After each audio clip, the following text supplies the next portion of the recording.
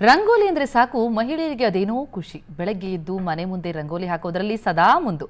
ಇಂತಹ ನಾರಿಯರಿಗಾಗಿಯೇ ಇಲ್ಲೊಂದು ಕಡೆ ಸ್ಪರ್ಧೆ ನಡೀತು. ಎಲ್ಲರೂ ನಾ ಮುಂದು ತಾ ಮುಂದು ಅಂತ ರಂಗೋಲಿ ಬಿಡಿಸಿ ಗಮನ ಸೆಳೆದ್ರು. ನೀವು ಆ ರಂಗೋಲಿಯನ್ನ ಕಣ್ತುಂಬಿಸ್ಕೊಳ್ಳಿ.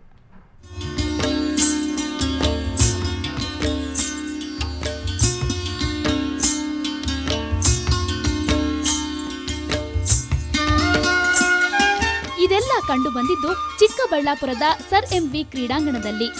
ಶ್ರೀ ಸಾಯಿ ಚಾರಿಟೇಬಲ್ ಟ್ರಸ್ಟ್ ಸಂಕ್ರಾಂತಿ ಹಬ್ಬದ ಅಂಗವಾಗಿ ರಂಗೋಲಿ ಸ್ಪರ್ಧೆಯನ್ನ ಏರ್ಪಡಿಸಲಾಗಿತ್ತು. ಸುಮಾರು ಆರು ಸಾವಿರ ಮಹಿಳೆಯರು ಈ ಸ್ಪರ್ಧೆಯಲ್ಲಿ ಭಾಗವಹಿಸಿದ್ದು ವಿಶೇಷವಾಗಿತ್ತು.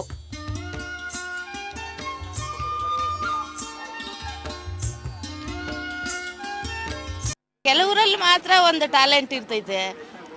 ರಂಗೋಲಿ ಅನ್ನೋದು. ಅದು ಇವಾಗ ಈ ಥರ ಮಾಡಿರೋದ್ರಿಂದ ಹತ್ತಾರು ಜನ ಹಾಕೋಗೆ ನಾವೇ ಟ್ಯಾಲೆಂಟ್ ಅಂತ ನಾವು ಅನ್ಕೊಂತೀವಿ. ನಮಗಿಂತ ಇನ್ನೂ ಇದ್ದಾರೆ ಅನ್ನೋದು ಗೊತ್ತಾದಾಗ ನಾವು ಇನ್ನೂ ಇಂಪ್ರೂವ್ ಆಗಬೇಕು ಅನ್ನೋದು ಒಂದು ಚಾಲೆಂಜ್ ಬರುತ್ತೆ. ಕಳೆದ ನಾಲ್ಕು ವರ್ಷಗಳಿಂದ ಈ ಟ್ರಸ್ಟ್ ಇಂತಹ ಕಾರ್ಯಕ್ರಮಗಳನ್ನು ಆಯೋಜಿಸುತ್ತಾ ಬಂದಿದೆ.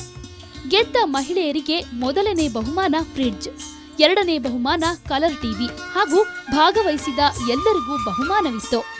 ಒಟ್ಟಾರೆ ಮನೆ ಮುಂದೆ ರಂಗೋಲಿ ಹಾಕ್ತಿದ್ದ ಮಹಿಳೆಯರಿಗೆ ಈ ಸ್ಪರ್ಧೆ ವಿಶೇಷ ಅನುಭವ ಕೊಡ್ತು. ಚಿಕ್ಕಬಳ್ಳಾಪುರದಿಂದ ಕ್ಯಾಮರಾಮನ್ ಮಂಜು ಜೊತೆ ರವಿಕುಮಾರ್ ವಿ ಸುವರ್ಣ ನ್ಯೂಸ್.